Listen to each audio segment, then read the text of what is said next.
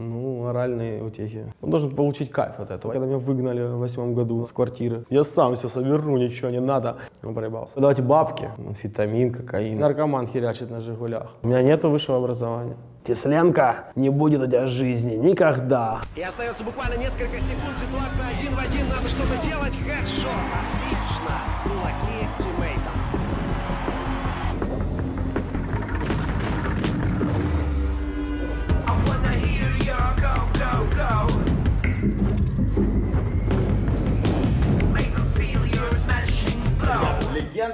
Киберспорта ЗЕС передает свой кулак из нового рекламного ролика «Париматч» в поддержку киберспорта. А еще ПМ разыгрывает целых 700 баксов на покупки в Стиме. Смотрите по ссылке в описании новый ролик. Там же есть условия розыгрыша. И передавайте своим друзьям лютейший кулак. От души в душу. Хороший вопрос. А, Такой откровенное что-то, да? Слушай, ну вариантов можно придумать ну, массу, честно говоря. Ну, оральные утехи придумайте. Как вариант, допустим. Ну, как бы я не сталкивался с тем, что мне надо идти там искать, как эти мемы, там кульки какие-то, или там перчатки, блядь, резать. Включить интернет, этот, Google, там можно поискать. Там, там, вариантов, я думаю, пред- предложат. Ну, Да, ну что-то я не припомню. Может, были когда-то давно. Ну, когда были давно, честно, это было, у тебя все нормально, там я тоже, ну и все. Это, было- это работало вот в таком формате, на доверие. Когда постарше, уже всегда есть, поэтому все хорошо. Ой. Доверие всегда оправдывалось. По-разному. Вообще не играл. Уже где-то месяца полтора не играл. Не было такого, что я сидел, смотрел на мышку, она мне такая, типа, я такой, нет, не пойду. Такого не было. У меня дома классный комп, я собрал, у меня все есть, я могу постримить, сесть, могу записать какой-то видос. Просто должно быть э, вдохновение. Он должен получить кайф от этого. Я через не могу наоборот играть заставлялся некоторое время. У меня с некоторыми спонсорами по контракту я должен в месяц играть, стримы какие-то делать. И я вот сейчас это перевожу больше на YouTube, чтобы на YouTube делать какой-то контент, потому что ну, не вставляет. Я говорю, ребят, ну не могу играть, не знаю, за 20 лет уже на- наигрался. Надеюсь, придет какой-то момент, может не играть. Ну, я смотрю Counter-Strike очень много, мне нравится смотреть, болеть, смотрю за Нави, есть интернет. Есть сайты, где ты можешь зайти, посмотреть игроков, они на виду, вот, на ладони. Есть э, разные какие-то лиги, платформы, где играют игроки. Игроков найти можно, вопрос в том, какого уровня ты хочешь. Топовых игроков сейчас на рынке нету. Вот говорят там киберспорт, отмирает, Counter-Strike там уходит, но вот я, да, я пошел искать игроков, неплохих, которые там, ну, в топ-40 мира могли бы быть. Вот в СНГ нету их. То есть это очень тяжело. Они все на контрактах. Поэтому либо покупать, либо растить. Ну, я-то как-то не засекал никогда. 3-4-5 дней, может. Ну, это были ситуации, когда жил в компьютерном клубе, когда меня выгнали в восьмом году у нас там с квартиры из одного чудака. Но жили мы в Москве на заработках. Были, вот, играли. И, ну, или улетели на чемпионаты, и там чувака, чувака одного оставили. А он там еще дискотеку устроил, а хозяина не было там больше года. Он приехал, его соседи увидел и выгнал всех. Причем взял залог все наши вещи. Сказал, давайте бабки. По-моему, 5 тысяч долларов тогда посчитал. Ну, за разгром квартиры. Меня там, короче, потерпело крушение небольшое. Началось с того, что э, квартиру мы сняли, нам помогли там ребята, и там не было мебели. Мы купили там с Икеи кровати, там все дела. И приехал чувак, говорит, ну давайте я вам все соберу там за дополнительные какие-то 2000 рублей. Ну наш там друг со Ставрополя, Леша Колесников, такой, я сам все соберу, ничего не надо. Потратили там, знаешь, там Квартира стоила, по-моему, полторушка в месяц. То есть это 4 500 мы отдали сразу. Мебели там на пару тысяч. Тут 2000 рублей за, зажадничали. В итоге начал скручивать, закручивать, болта не нашел. Все это, короче, на балкон перенесли, одни матрасы кинули. Мы спали на матрасах в комнате. Так вот год. Все забили просто хрен. Вот, это было, началось с этого. Но потом э, я пришел как-то в состоянии пограничном, говорится. И что-то с утра мы- у меня Ваня спал, что-то, я не помню, начал готовить и наделал какие-то там картошку, я там сделал, что морковку, что нашел, хочу в холодильнике. Все это в э, духовку. Я думаю, полежу, открываю глаза. и все в дыму полностью. То есть мы реально могли умереть. Вот. Ну, Ваня, Ваня нас спас. Это вот мой тиммейт. Это, будет такой, Даня, Даня, блин. ну, он успел. Ну, спалили, а вот эта вся гарь, ну, все село. Она, про- квартира пропиталась. Ну и так далее. Ванной разбили умывальник, он большой такой был, советский. Ну какие-то были подростки такие дебильноватые. На нас в головах только был Counter-Strike, и там нам вообще типа, нам спать где было вообще насрать. Ну, мы приходили там, что-то там в квартире, там переночевали, что-то поели, там, посмотрели какой-то фильм, и все, и играть, играть, играть. У нас только, только в голове мы фанатиками были такими.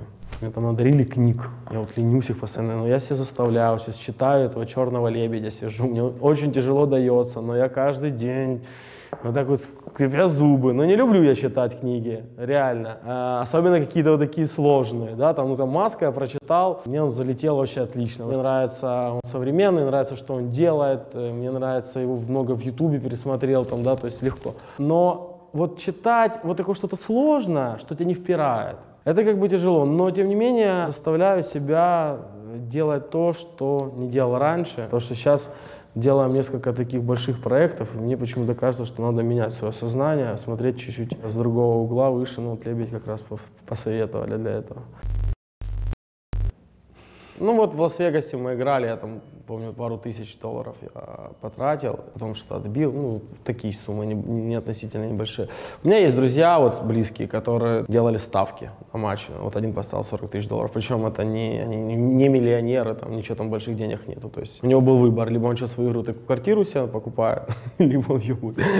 Он должен был выиграть, все было, уже, уже вот так вот. Если сравнивать с футболом, там кто-то вел 3-1. 80-я минута, твоя команда идет 3-1, у тебя стоит 40 тысяч. Но него в киберспорте так было, он проебался. Команда была уже ничья, она вела сильно. Потом допы, бац, бац. Там был пиздец. Ну, такое было, такие есть. Я и об этом не знал, потому что от меня это скрывали, потому что я бы этого не дал сделать своему другу. Но я об этом узнал на следующий день, уже от, от- от другого чувака, но там уже он был хотя бы в сознании. Потому что, говорят, в тот день ему была вообще беда, печаль. У меня нету высшего образования. А, образование, оно должно иметь э, смысл. Вот это вот советское какое наших предков, там, да, то, что, а без образования как человек вырастет человеком, там, да, скажем так. То сейчас так это не работает. Сейчас вам нужно получать профессию, по которой вы будете работать. Круто, когда вы получаете профессию, по ко- которой вы еще будете тащиться, от того, что вы будете получать удовольствие от этого процесса. А если для галочки образование не нужно, это мое мнение, но учиться 100%. А, слушай, у меня есть дочка, да, 9 лет. Мы с ней близко очень общаемся, очень близко дружим. Она учится в моей школе, где я учился. Недавно ходил там, встречался с классухой, и вот так вот время летит. Хотя в школе говорили там, Тесленко, не будет у тебя жизни никогда. А сейчас фоткаются со мной. Директор пригласил там, чтобы я выступил перед школьниками, гордятся там мной. Там жизнь как бы складывается по-разному, не решает это. А как э, преподаватель, так, э, который ты под дверь насрал с другого? Это было в другой школе. Это было в деревне. Посмотрят дети, думают, а, вот так значит. Смотри, этот, этот, этот мог, а мы же не можем. Он насрал и чемпион, да? То есть не надо этого делать. В 10 класс я уже ходил просто по приколу, так можно назвать. Даня ходил, потому я не хотел уже учиться в школе, но при этом я не понимал, куда идти в какие-то там колледжи или там ПТУ какой-то, да. Я не пошел учиться дальше, нет. Так чуть-чуть пробовали, да, было дело.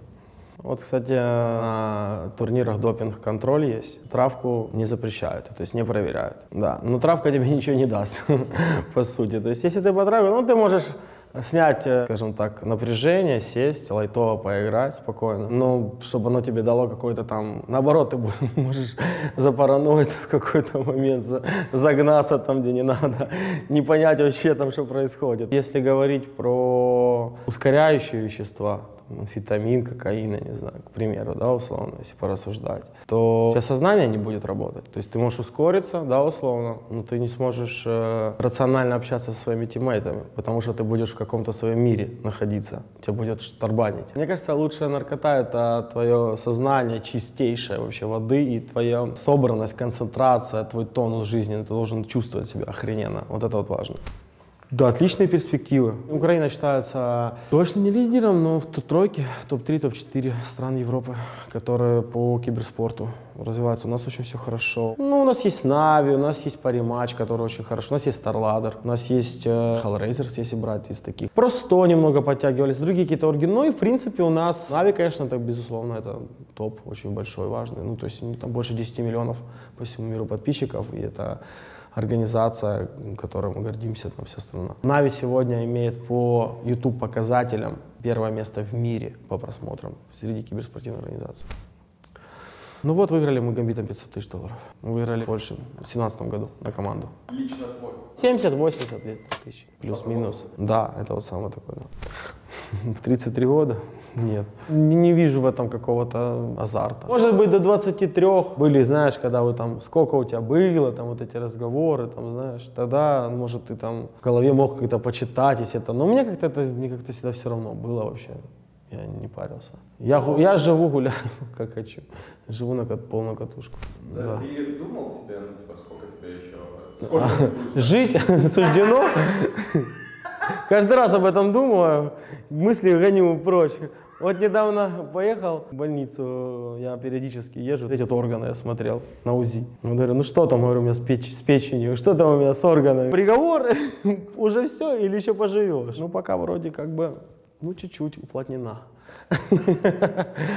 Есть как бы частичные, то есть какие-то элементы, которые влияют. Э, Реакция там. Наверное, самое главное, это ты когда взрослеешь, у тебя вообще в принципе в голове меняются мировоззрение, сознание, ты становишься более таким спокойным. С одной стороны ответственным, с другой стороны ты не можешь уже сидеть, ну прикинь, ты должен сидеть там по 3, по 4 недели подряд, тренироваться по 12 часов с командой, вот если ты приезжаешь на сборы, да, перед чемпионатом важным, и потом еще ты должен тренироваться дополнительно индивидуально, потому что твои тиммейты, они молодые, вот у нас было, мне было 30 лет Нави, вот когда последние, мы там пару лет играли, пацанам 20. То есть они, мы поиграли, там у нас там график в 12 завтрак, в час у нас уже, уже сбор, и в, там в 11 мы освобождаемся. Вот они еще тренировались там до трех. Я капитан, я должен своим примером показывать, что я тренируюсь как бы с ними. Как бы, э, когда был помоложе, я всегда показывал, тренировался дольше всех, чтобы они с меня брали пример. Но когда ты это происходит вот в возрасте под тридцатку, то ты уже просто, ну, как бы у тебя не хватает сил вообще. А если это ежедневно,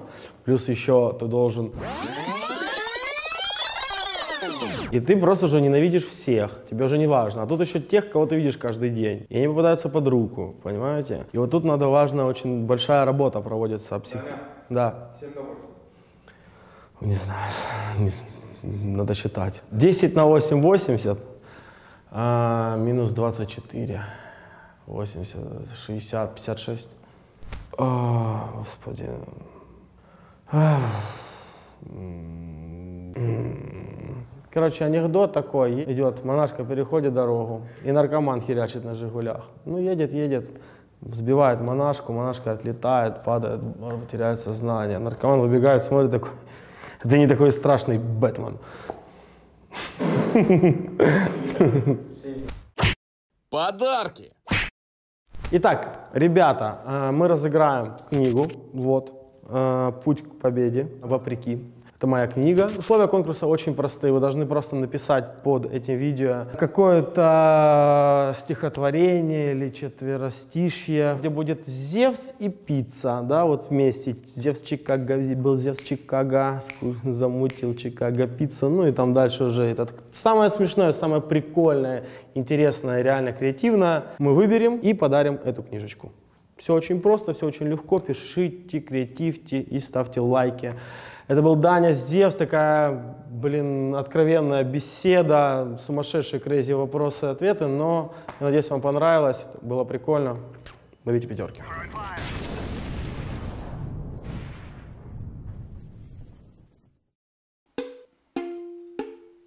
От души в душу!